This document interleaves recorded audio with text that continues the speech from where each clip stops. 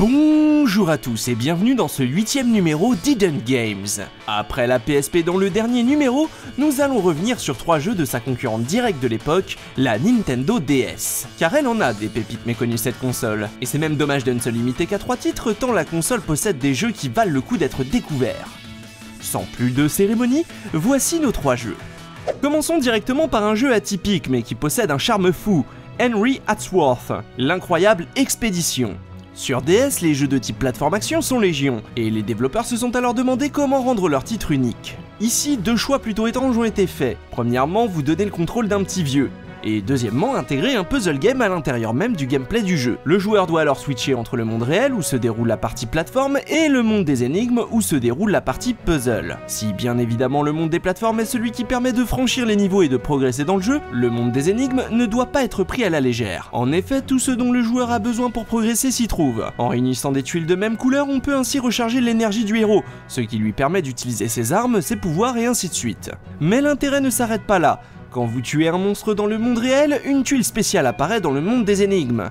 Si cette tuile atteint le haut de l'écran, le monstre sera de retour dans la partie plateforme. Le joueur doit donc veiller à se débarrasser des nuisibles une bonne fois pour toutes avant d'être envahi sur l'écran principal. Outre son gameplay hybride mais rempli de bonnes idées et fonctionnant à merveille, Henry Hatsworth est un titre très bien réalisé. Les graphismes 2D colorés sont fins et sont dignes des très bons jeux du genre, et les musiques ne sont pas en reste et certains morceaux sont magnifiques. Le level design quant à lui est assez classique mais reste efficace. Seule la difficulté pourra rebuter certains joueurs, car si les premiers mondes sont assez faciles, dès le troisième les choses se compliquent et il faudra maîtriser les deux types de gameplay pour s'en sortir. Ajoutez à cela des boss déjantés et un humour omniprésent, et vous obtenez un titre génial qu'il ne faut rater sous aucun prétexte. Une vraie perle que tout amateur de jeux de plateforme et de puzzle game se doit d'avoir dans sa collection. Jump Superstars est le jeu rêvé pour tout fan de manga shonen. Sorte de mélange habile entre Super Smash Bros et Power Stone, ce jeu de combat vous propose d'incarner 34 des plus grands héros de manga du célèbre magazine Jump. Sangoku, Naruto, Luffy, Ichigo, Gon. Si ces noms ne vous sont pas familiers, oubliez tout de suite ce jeu et retournez sur des classiques du jeu de baston traditionnel. Si par contre vous connaissez bien leur univers, vous serez plongé dans un véritable pêle-mêle de super pouvoirs et de coups de latte en bonne et due forme, car si seulement 34 personnages sont jouables, ce sont au total 160 personnages qui sont présents dans la cartouche, car loin d'être un simple affrontement à 1 contre 1, chaque combattant possède des alliés qu'il pourra appeler pour lui conférer des bonus. Ces personnages se débloquent au fil de la progression du joueur, dans le mode scénario principalement. Pour les utiliser, il faut réussir à les placer sur un plateau de 20 cases, chaque personnage prenant plus ou moins de place à l'image d'une case de manga. Une pression sur l'écran tactile suffit alors à les utiliser. Mais les subtilités de gameplay du jeu ne s'arrêtent pas là, et si le joueur aura tendance à bourriner dans ses premiers affrontements, il apprendra bien vite à déclencher les contres et à ne pas sacrifier l'un de ses personnages pour ne pas être privé d'attaques combinées dévastatrices. Car Jump Superstars fait la part belle au combat dit de tag battle, ce qui pousse le joueur à tenter des combinaisons de personnages afin de trouver la team parfaite. Technique, bourrin, bien réalisé et ultra fun à jouer, en plus de réunir énormément de noms du manga, le jeu ne vit malheureusement jamais le jour en dehors du Japon. Car si là-bas c'est le magazine Jump qui édite toutes les aventures de ses héros, les droits d'exploitation sont malheureusement éparpillés chez de nombreux éditeurs aux US et en Europe. Une situation qui n'a pas empêché plusieurs suites, mais pas forcément par les mêmes développeurs. Le dernier titre regroupant des héros de manga, G-Star Victory VS+, a été annoncé pour le territoire américain sans toutefois dévoiler date de sortie. Mais en attendant, vous pouvez sans hésiter vous essayer à Jump Superstars ou à sa suite Ultimate Jump Stars, je vous le garantis, vous ne le regretterez pas.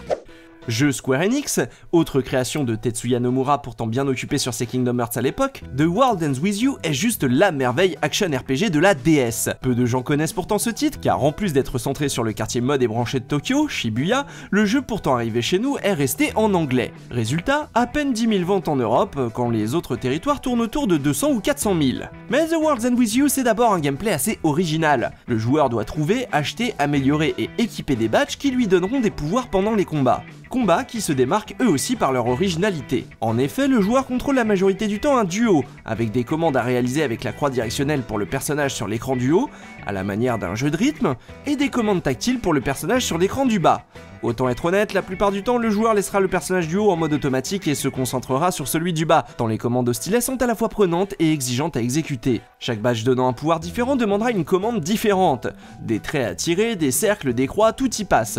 Mais le jeu n'est jamais bordélique, les affrontements rarement brouillons, et l'on se surprend à enchaîner les commandes de manière fluide pour un résultat classe à l'écran. Les badges et l'équipement du personnage sont donc soumis à la mode. Dans ce quartier hautement branché, il faudra toujours surveiller quelles marques ont des bonus ou des malus pour ne pas être pénalisé lors des combats. Un autre parti pris spécial du titre sont ses musiques, de la J-pop acidulée avec beaucoup de morceaux chantés.